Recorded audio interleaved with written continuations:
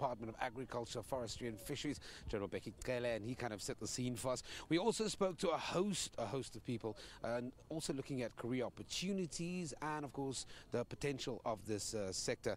Now, the one thing we haven't talked about is the events. There are highlights throughout the month, and they've employed some brand ambassadors to kind of move that message forward.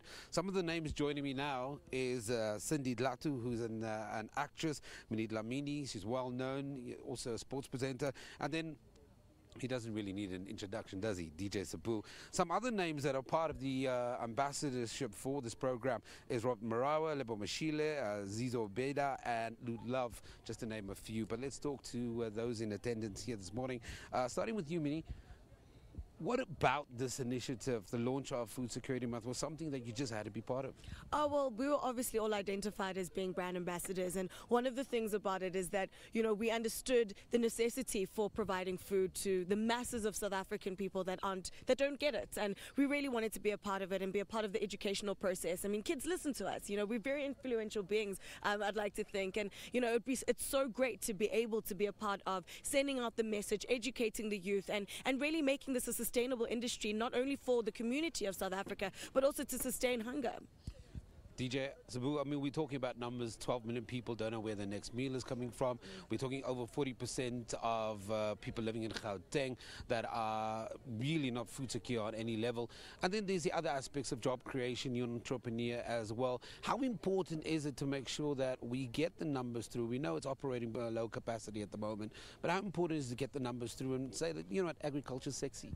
Agriculture is sexy because people need to eat food every day. You know, other things are just uh, luxury But um, to come back in, in, in, into why you know some of us are, are involved ourselves with this program is because I'm passionate about people.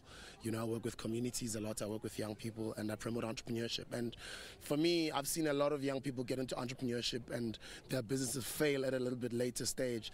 But they're not exposed of opportunities that are in um, a, a, sector like this one. For instance, this sector is white dominated.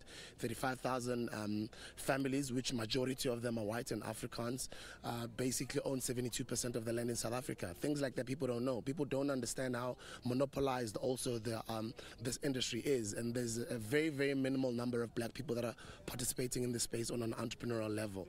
The farm that we own right now is owned by a female lady who is farming here every day. She's got employees, she's providing food to masses of people, she's providing jobs. And if more young people can start um, getting exposed to such an industry, I think we'll see more and more uh, uh, uh, of this sector uh, evolving over the next couple of years. And that's the reason why we're in this space to give it exposure.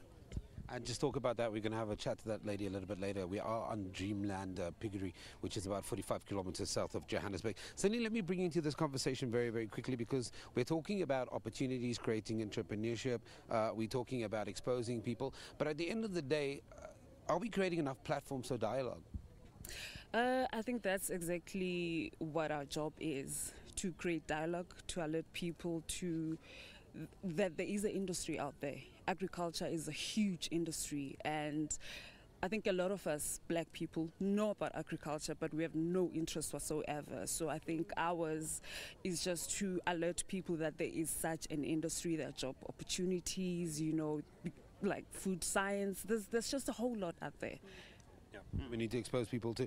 Uh, Minnie, you were talking a little bit earlier before we started this conversation that you know, in actual fact, you've got a bit of green fingers. I do. I'm actually not so bad. I mean, if I if I grow some beans and stuff, they, they actually grow. I like to grow like a few herbs and stuff because I really love to cook. So I mean, this is right up my alley. I really love being in the outdoors. I really love seeing um, nature in its natural state, if you will. Um, and and just to go on to what Sindi was talking about, one of the most amazing things about our platform is that we're actually going to be going out to the entire country and speaking to young people, educating them about agriculture, teaching them about the importance of, of agriculture in our country and how they can make it a successful business for themselves. So it's not just us getting there and taking photos and being like, hey, we love agriculture. We're actually going out and educating the youth all through the country.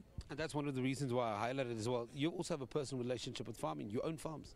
Um, I've got a I've got a farm in the KZN, and we also own a farm um, north of Matatiele municipality, that is just around the Brett area. A very, very big farm. I hadn't started farming yet, but uh, this gives me an opportunity to learn about farming because this is a long term relationship.